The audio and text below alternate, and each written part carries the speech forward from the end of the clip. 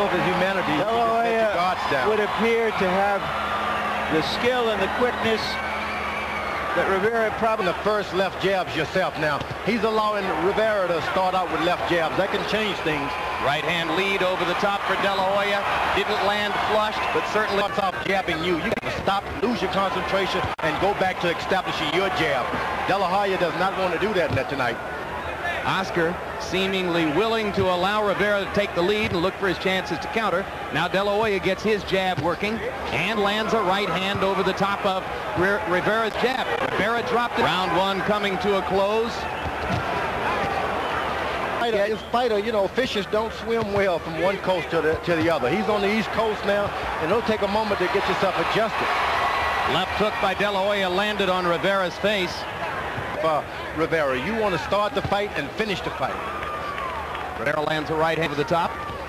Continues to stick his jab. And there's a big shot. Thunderbolt left hook.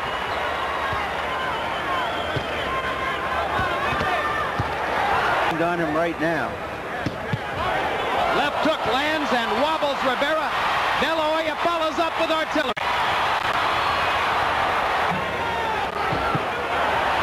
hook again, followed by a right cross. Rivera is just allowing him to land too many left hooks. Remember how quickly De was able to cut Chavez? The speed is there. It takes a lot of speed to get a cut, not so much power. Same punch, same target. Seem to be flowing into his eye. I don't see where the danger is at this moment. I wondered about that also, why the, the doctor would say such. Hard left hand to the chest there. Right hand over the top by De La Hoya. Gets a little trickle for his trouble. Hard left hand by Rivera. And that's what Rivera is doing, allowing him to get close, let him throw shots himself. More left hooks as a result. Right uppercut for De La Hoya.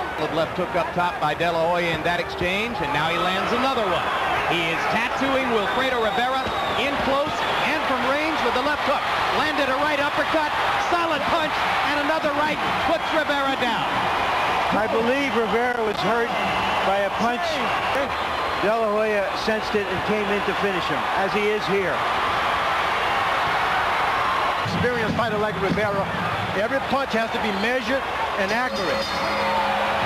That uh, Rivera eked out. With a furious left hook over the top there, but now he lands another left hook, and that backs Rivera out of there. And a good, quick, short left. Oscar's smart. He throws that left hook, makes the guy aware that he hit him in the body, then he goes a little bit. Oscar, like I said, he's pretty smart. And here's the ring. I, I wonder about this ring getting out of control here. The bottom. Raider of gas switches, don't you switch.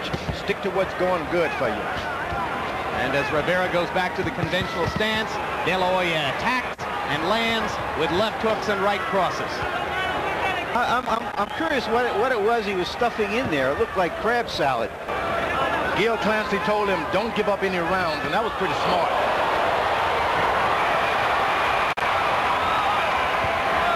And ahs from the crowd as De La Hoya lands a couple of combinations. Miguel Angel Gonzalez when he landed a lot of heavy punches.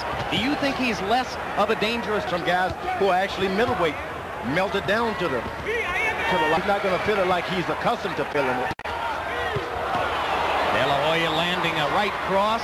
Basically at these weights, De La Hoya is a line drive. Now he's allowing Rivera to get off in the body too. Now that that can change things as the fight goes longer and longer. If not, I'm just going to win. And a win is a win. Just Royal Marquez fought with, he just is badly cut, and, and you know, uh, it's a fight that he's going to have a tough time winning with that blood going into his eye. I think his problem is the getting in his way. Punches aren't getting through to his left jab. De La Hoya dramatically upped his punch count in round seven, throwing 62 punches. Seems to have a protective mode in this round. I think Oscar would really like to finish this one inside of 12. And now he might have the chance to do it. Oh, that was a monstrous left hook. Rivera's got some chin to stand up to that. or De La Hoya does. Inside of you, you're not going to just be knocked down or knocked out so easily.